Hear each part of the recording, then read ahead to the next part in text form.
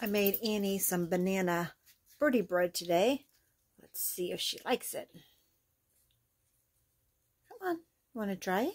It's very delicious. It's got bananas in it. Would you like it? I'll put it right here. Maybe you can nibble on it.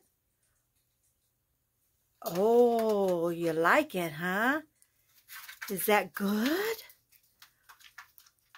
Is that good banana bread?